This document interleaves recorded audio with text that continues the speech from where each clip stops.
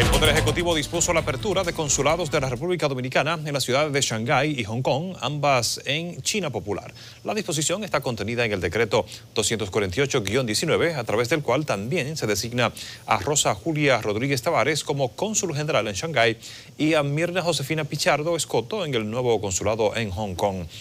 En el caso de Rodríguez Taveras, se ha desempeñado como subdirectora de pasaportes y Mirna Pichardo es comunicadora y fue esposa del periodista César Medina.